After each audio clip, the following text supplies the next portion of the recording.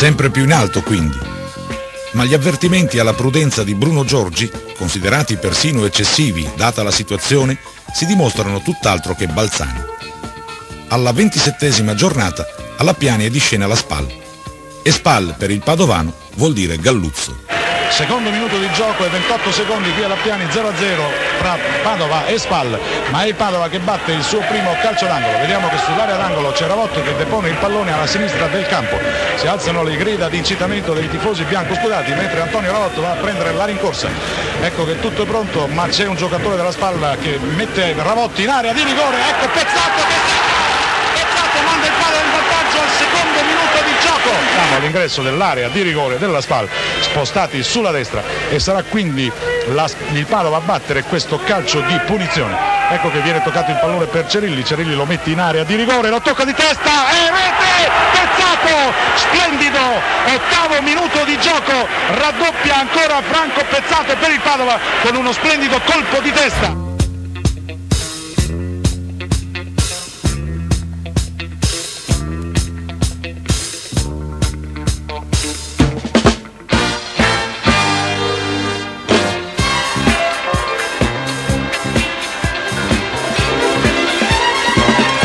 Così, con due reti, Giuseppe Galluzzo, calabrese di Siderno Marina, porta al pareggio la sua squadra e fa imbestialire per la seconda volta i tifosi padovani. Ma le pene purtroppo non sono finite qui. Si avvicina la ventottesima giornata che vedrà i biancoscudati impegnati a Trieste. I tifosi preparano una trasferta memorabile, seconda per affluenza solamente alla oramai storica partita di Verona. Sono più di 5.000 e lo stadio Grezar a Valmaura è tutto un brulichio di bandiere bianco-scudate. Vi è anche molta speranza suffragata dal fatto che alla Triestina, quasi promossa con molto anticipo, può andare più che bene anche un pareggio. De Falco evidentemente non la pensa così e mettendo a segno due reti, una delle quali su calcio di rigore, rimanda tutti a casa con le pive nel sacco ma quel che è peggio, con Vicenza e Carrarese rilanciate e con un solo punto di svantaggio. Per fortuna arriva questa volta al momento opportuno la sosta. Il Padova vola in Calabria, dove a Cosenza disputerà il torneo anglo-italiano. Qui Bruno Giorgi dimostra tutto il suo valore di uomo e di tecnico. Parla con i giocatori, i quali dal canto loro si comportano da veri professionisti. Analizza i fatti e prepara le contromisure. A Cosenza il Padova gioca più che altro per onore di firma e con il pensiero rivolto alla ripresa del campionato. 29esima giornata, a 5 dalla fine, alla Piani arriva il Trento. Conforto, supera la metà campo, ancora Conforto, converge verso il centro, poi dà in avanti per Pezzato, Pezzato scambia ancora con Cerilli, ancora Cerilli che cerca di avanzare verso l'area di rigore, mette in area di rigore, Bozzi è anticipato, il pallone è messo fuori ma è recuperato, ancora Conforto, ancora Conforto, il pallone per Bozzi ed è rete, il Padova è in vantaggio con rete, con Bozzi.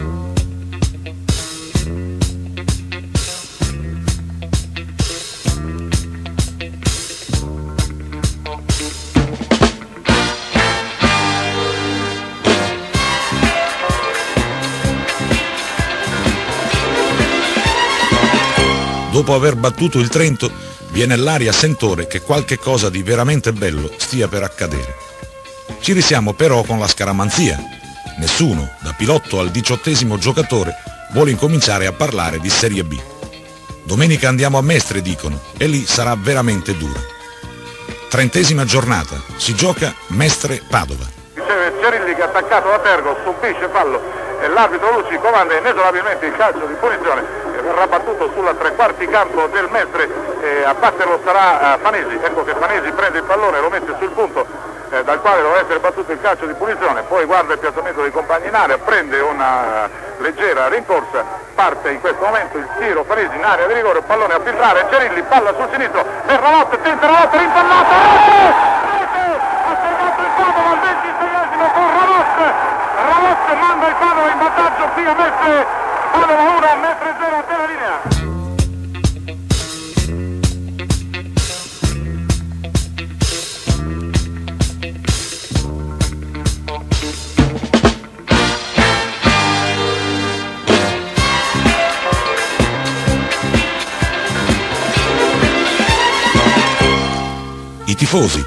protagonisti di un'ennesima grandiosa spedizione, pagano di persona la gioia della vittoria, vittime del vandalismo di pochi idioti. La giornata è stata veramente trionfale.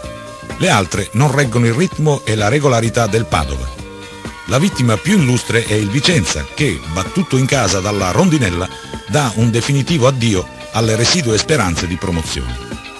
Il clima che attorni alla squadra è facilmente intuibile, tuttavia il saggio Giorgi, coadiuvato da Pirotto e dai giocatori, raccomanda la calma. Ecco, lo slogan bianco scudato di questi tempi è proprio questo, calma e gesso.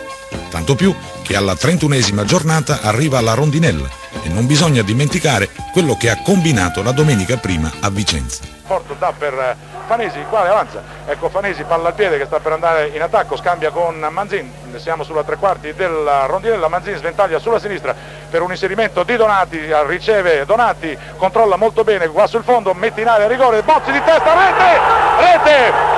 Siamo al 29 minuto di gioco e il Padova raddoppia con una splendida azione di Donati sulla sinistra e colpo di testa finale di eh, Bozzi ecco che adesso è Conforto che manovra il pallone all'ingresso della propria area di rigore poi il, fa un paio di pirouette su se stesso e lo dà all'indietro per Maiani il quale lo calcia lungo pallone che sta per arrivare sul cerchio del centrocampo non può intervenire Calestro all'indietro Ravot ecco Ravot che conquista il pallone ancora Ravot sta per entrare in area rete rete Ravot 3 a 0 Ravot ha portato il Padova sul 3 a 0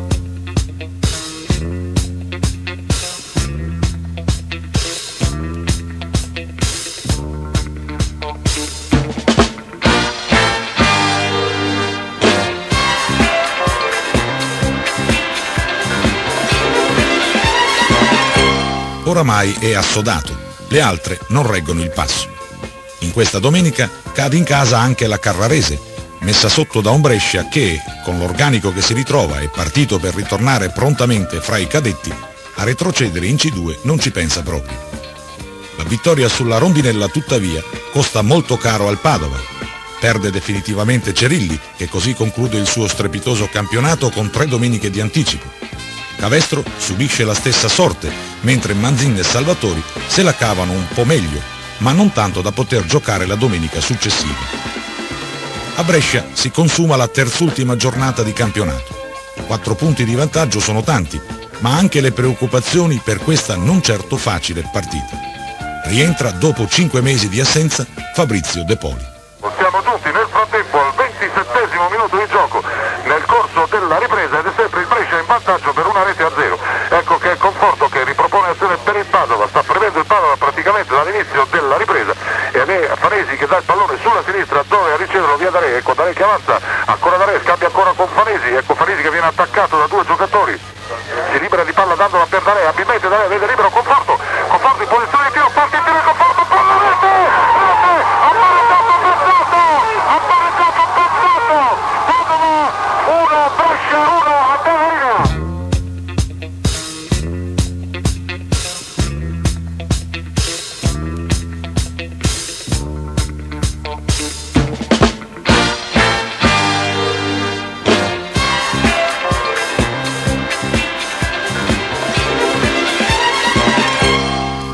Padova a Brescia per qualche minuto ha quindi gustato il miele della Serie B. Lo abbiamo fatto apposta a pareggiare, dice Pilotto. Così la festa la facciamo alla Piani, assieme a tutti i nostri tifosi. Con tutta probabilità, per il buon presidente, questa frase è stato un modo come un altro per scaricare la tensione nervosa accumulata e non solo in questa ultima partita. Però il destino, che gran parte deve avere anche nel gioco del calcio, ha voluto proprio così. Da tempo gli innamorati di questa squadra sapevano della promozione. L'unico ostacolo ora è per gli scettici la matematica. Per la Serie B manca un punto e a darcelo dovrà essere proprio quel Parma che quattro mesi prima, con una poderosa spallata, aveva bruscamente rinchiuso in faccia ai biancoscudati il portone dorato della Serie B. Eh, vi lascio immaginare che tipo di emozioni e di sensazioni sta per attraversare lo stadio Piani. Tutti aspettano il triplice fischio dell'arbitro, ci auguriamo che tutti eh, seguano i consigli che sono stati dati prima della partita di non invadere il terreno di gioco perché sarebbe bello poter festeggiare tutti assieme i giocatori del Padova. ecco che eh, si sta facendo Melina sul cerchio del centrocampo. 44 minuti e 38 secondi. La partita è praticamente finita e il Padova è praticamente matematicamente in Serie B io sto osservando la panchina del Padova c'è il presidente Pilotto teso come un violino. Finito siamo in Serie B. Ed ecco che la banda ha fatto il suo ingresso qui allo stadio a Piani è difficile anche per me e vi prego di scusarmi mantenere la calma, la commozione mi sta prendendo la mano. Spero di riuscire ad arrivare alla fine perché avrei delle cose importanti da dire soprattutto da ricordare in questo momento di gioia, di gioia per tutti, per una intera città che aspettava, ripeto, da 14 anni questo momento vorremmo ricordare gli artefici di questa, di questa impresa che resterà certamente memorabile negli annali della società del Padova Calcio ma anche nella memoria di tutti i veri sportivi, i veri tifosi. I portieri, vi do l'organico di questa formazione, di questa squadra che ha raggiunto la promozione in Serie B. I portieri Claudio Maiani, Roberto Renzi e Adriano Bardin, anche se quest'ultimo più che giocare si è occupato della preparazione, cosa assai importante, dei due titolari. I difensori Saverio Albi, Toni Favaro, Fabrizio Salvatori, Pasquale Fanesi, Cornelio Donati, Fulvio Fellet. I centrocampisti Emilio Darè, Franco Cerilli, Livio Manzin, Franco Conforto, Renato Meneghetti. Le punte Franco Pezzato, Antonio Ravot, Enzo Bozzi, Nicola Cavestro e Alberto Da Croce. L'allenatore signor Bruno Giorgi, il presidente Antonino Ivo Pilotto, il direttore sportivo Enrico Alberti, lo staff medico con i dottori Scutari e Rigo e il massaggiatore Rino Baron. Sono questi i principali protagonisti di questa meravigliosa avventura bianco-scudata conclusasi con la promozione in Serie B. A tutti questi si aggiungono i tanti, tantissimi migliaia, non sappiamo quanti sono, 26.000 erano questi di questo pomeriggio, dicevo i tifosi che hanno seguito instaccabilmente questa squadra, l'hanno seguita, hanno anche criticata, vorrei dire giustamente, fa parte del gioco, fa parte delle cose, bisogna accettare anche questo. Tutti lo hanno accettato, convinti come erano di poter raggiungere un obiettivo che mancava alla città di Padova da 14 anni. Il Padova è quindi in Serie B e mai, consentitemi di dire, ho fatto un annuncio che mi rende tanta e tanta gioia come in questo momento. Allora Presidente Pilotto, finalmente possiamo dire che siamo in Serie B. In quattro eh, stagioni, eh, due promozioni, una Coppa Italia. Dove vuole arrivare questo Padova? Ma diciamo tutto dipenderà da, dal prossimo futuro, intanto godiamoci questa vittoria che la dedico principal modo a mio papà che mi è morto in un campo di calcio e forse diciamo grosso merito di questa Serie B penso che sia suo. E lo dedico anche a tutti i nostri tifosi, a tutti quelli che hanno cercato di aiutarmi in momenti anche difficili e, e chiedo scusa a qualcuno se forse da parte mia non sono stato così diciamo semplice in certe circostanze oserei dire però io avevo solo un intento di portare questo Padova in Serie B dentro di me e fortunatamente ci siamo arrivati, dunque il merito va a tutti chi ha cercato di aiutare, dal Presidente ai collaboratori e a tutti chi è stato attorno alla società. Allora Bruno Giorgi, mm, che tipo di emozioni eh, le ha dato questa rispetto alle altre e c'è una differenza e se c'è per quale motivo? Ma io credo che le, le, difficoltà che può trovare un allenatore a Padova credo possono essere parecchie perché 14 anni di, di attesa creano eh, umoralmente qualcosa di ingolfato a livello del, del, pubblico. È il pubblico che sempre partecipe e, e lotta però vuol vedere vincere, non, non, ce la faceva più a stare in un ambito che, che non eh, riteneva più, più suo. Quindi ecco, umoralmente io ho cercato di, di eh, comprendere il problema per quello che era, cercare di staccare eh, il, il, discorso squadra nei momenti eh, in cui abbiamo avuto delle, delle defiance, delle piccole difficoltà. E credo che sia, sia stata una componente eh, tecnico-umana che abbia avuto un valore perché i, i nostri giovanotti sono stati eh, talmente in gamba nel, nel, potersi isolare nel gruppo e poi eh, dando testimonianza sul campo non sempre, è evidente che eh, le, le, difficoltà oggettive di questo, di questo, campionato a volte ci hanno fatto pensare di non essere eh, prototipi di una, di una grossa situazione, però è altrettanto vero che eh, nella forza di, di, un convincimento, di una grossa volontà, questa squadra credo abbia dato dei punti a tutti. Abbiamo tirato via squadre di tipo tecnico come, come Vicenza, come Spal, come Brescia, come Modena e squadre di tipo fisico come, come Carrarese e come Rimini. Quindi vuol dire che l'equilibrio c'era e io eh, sinceramente ci ho sempre creduto. E mi pare allora di capire, concludendo, che eh, da un punto di vista di eh, eh, di emozioni e soprattutto di soddisfazioni per il suo lavoro, queste di Padova si, no, si, possono dire le maggiori che lei abbia conseguito fino a questo momento? Dico di sì, eh, Padova mi ha dato oggi una, una, grande soddisfazione, vedere un pubblico così eh, quando, eh, mi ricorda quando venni eh, con il Modena eh, dove c'erano 22.000 persone e da lì ho detto guarda è una cosa magnifica. Oggi eh, ci si ritrova festanti magari anche in numero superiore con una promozione in tasca, è il massimo che un allenatore può ottenere e, e direi che sono estremamente felice per Padova Sportiva e anche una piccola rivalsa in confronto di un qualche cosa che è andato storto in passato. Allora Franco Pezzato, quattro stagioni al Padova ed è sempre stato un uomo leader di questa squadra. Cosa si prova alla tenera età di 36 ma no, anni. Ma no, ma perché per un, per un calciatore, per un, per un, impiegato 36 anni eh, son... si è in piena gioventù, per un calciatore si comincia a parlare di prepensionamento. Per la verità eh, di Franco Pezzato si parlava di prepensionamento già quando venne a Padova a 32 anni. Invece si è dimostrato un leader di questa squadra ed è stato quello che ha siglato il gol della Serie B. Cosa si prova a 36 anni a, a portare in porto un'avventura come questa? Beh, prima di tutto ti ringrazio delle belle parole perché effettivamente a questa età non ce ne sono tanti giocatori ancora dei leader appunto come hai detto te. Io è chiaro sono stato un po' facilitato da una squadra direi seria eh, perché abbiamo fatto un campionato direi sempre in umiltà finché appunto oggi abbiamo assaporato questa Serie B. Appunto io eh, ringrazio anche i miei compagni che mi hanno dato la possibilità di essere un leader però nello stesso tempo penso che anche loro siano dei leader. Gian Adolfo Trivellato, eh, capo dei servizi sportivi del Mattino di Padova. Che cosa vuol dire eh, per la città di Padova questo, eh, questa promozione in Serie B?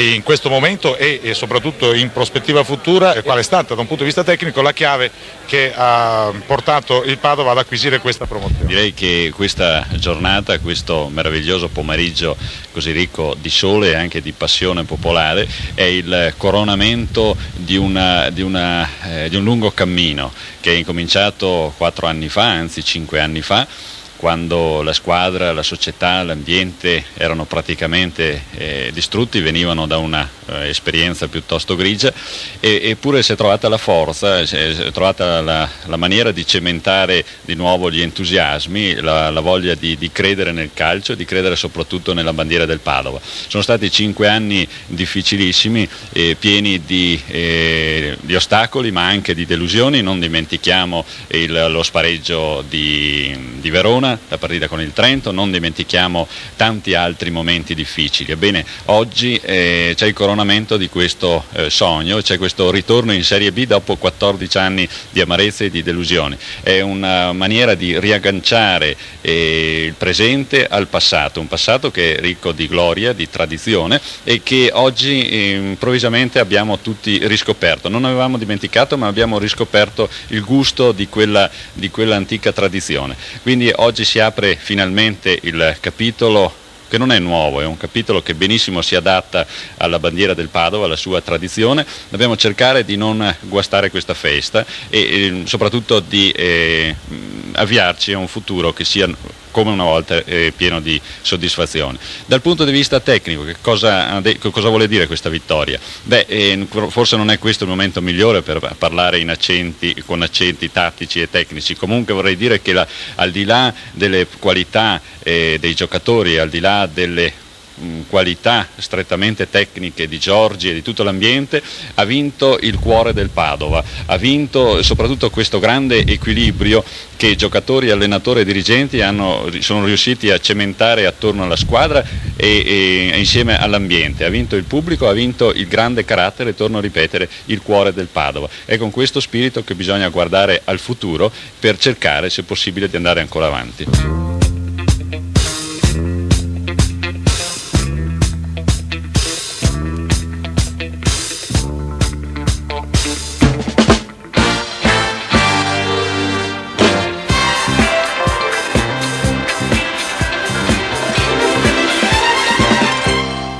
Finalmente è Serie B. Ora se ne può parlare senza correre il rischio di vedersi esorcizzati. 14 anni dopo il Padova ritorna in alto, in un posto nei valori del calcio italiano che tutti dicono gli compete.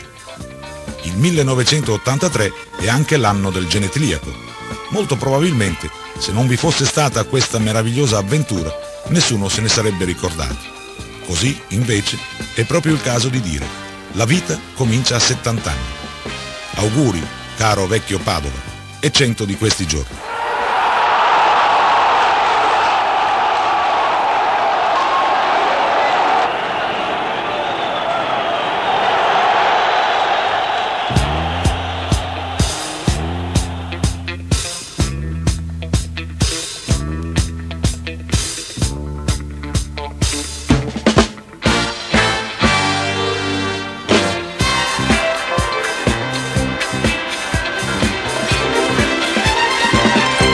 Entrare in area, spostato sulla sinistra, ancora De Poli, tiro, rete, rete, De Poli, per Canesi, Pennette, tiro, rete, rete, ha segnato il Pennette, De Bossi, tiro, rete, rete, il Padova un pancaccio, ancora il Padova che batte un calcio d'angolo, ecco, conforto che mette un pallone in centro, salta, rete, ha segnato Pezzato, con Panesi che entra in area rigore, tiro, e rete di Pezzato, per entrare in area Ravozzo, mette in area di rigore, esce, il portiere palla, gol,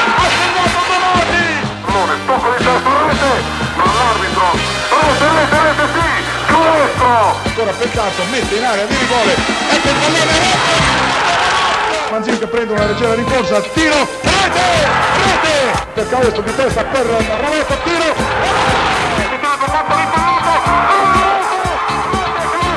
lo mette in area di rigore, lo tocca di testa e rete! Cazzato! Capo un buon il pallone per Botte, rete! Però per il pallone!